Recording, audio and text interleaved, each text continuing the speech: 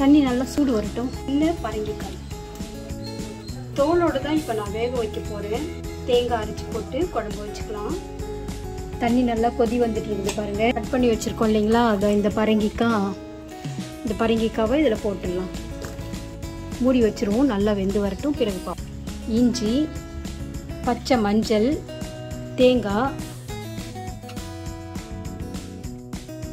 மிளகாய் கருகப்பில்லை ஒரு தக்காளி வெங்காயம் கட் பண்ணி சேர்க்குறேன்.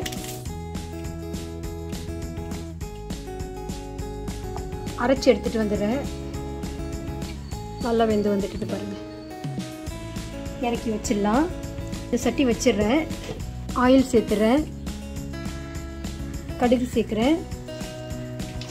காஞ்ச மிளகா உளுந்து ஒரு கொத்து கருவேப்பிலை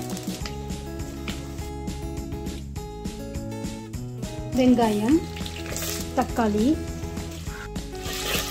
அரைச்சி எடுத்துகிட்டு வந்துட்டு அரைச்சி எடுத்துகிட்டு வந்ததை வதக்குவோம் இப்போது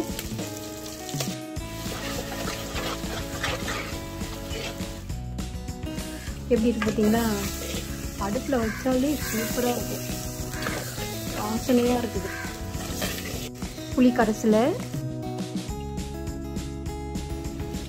தேவையான தண்ணி சேர்த்துருவோம்.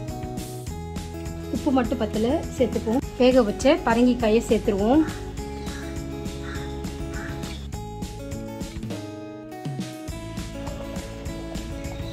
மூடி வச்சிருக்கோம்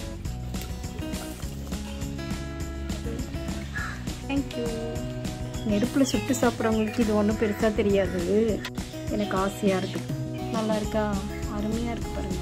இதே மாதிரி யாரெல்லாம் அப்பளம் சுட்டு சாப்பிட்ருக்குறீங்க கமெண்ட்டில் சொல்லுங்கள் தங்க பூசணிக்காய் குழம்பே கோல்டன் கலரில் தான் இருக்குது.